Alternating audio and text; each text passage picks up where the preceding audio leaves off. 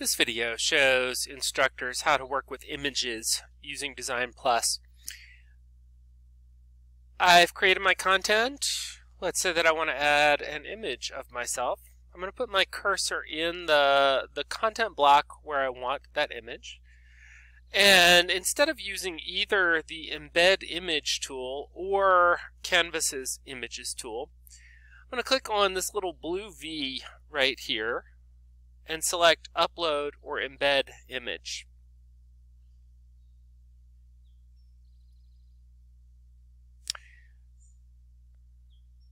It's a lazy hot summer afternoon and my computer doesn't want to work. Um, this is a new tool that comes with Design Plus that gives a little bit more flexibility in working with images. I'm going to click choose an image. Um, I'm not going to bore you while I search for an image of me. Let's use this picture of a modem. Um, I have no idea why that's on my computer right now. You can see it pulls it in here, and then we've got some editing tools that we can use. Um, I can do select all, and that positions my little frame over top of the whole thing, or I can drag and drop using my mouse. Right here, I can choose an aspect ratio, and it will change the size of my frame. And when I finally do embed this, it's only going to embed what's inside that blue box. This is particularly important if you remember that your banner image has to be a 10 by 3 ratio. So I can select 10 by 3 and I know that whatever is in that frame will fill a banner nicely. One thing to note is that down here in the bottom screen of the screen as I drag this a little bit larger you see image can fill 93% of the full canvas content without distorting. Basically, if you have a lower quality image, it can only show up as being so wide before it starts getting pixelated and yucky, and that down there tells you what that point is.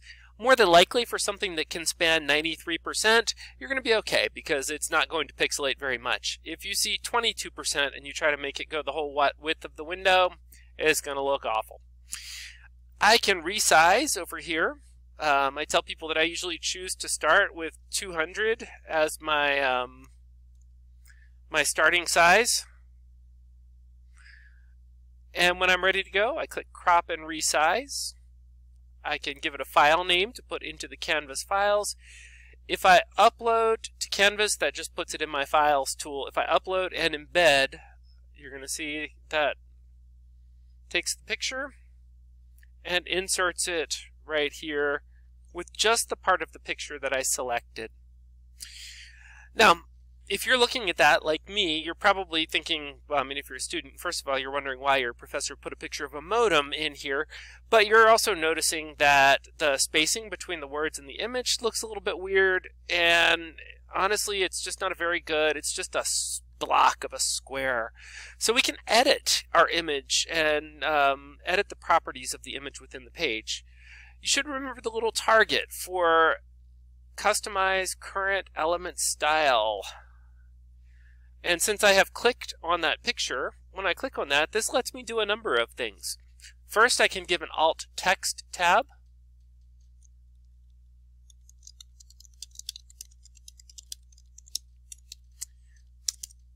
If I decide that that image is too small, I can adjust the size here over in the Design Plus tools. I'm going to make that 250 pixels wide. I can align the image, and when I align it to the left, you can see immediately the text is spaced nicely, and if I were to do more text, uh, I need to break it so that it's There you go. That's what I wanted you to see. You can see that it um, it now wraps the text nicely around the image, which is much better than having the what you usually get with Canvas. I can also apply a frame to it, a style, just to make it look a little bit better. Now, having done that, you can start to see, hey, look, the banner image is just a picture. I can do exactly the same thing so if there's a banner image that I want to use that is not in my list uh, when I use the customized banner image, you know, I can come in here and I can say, I'm going to choose a different image for my banner. Uh, use my modem again. Why not? I'm going to make it a 10 by 3. I'm going to expand it so that it's covering as much as possible. Select the red lights because those are cool. And then I'm going to crop the image, upload and embed. And you will see that it is going to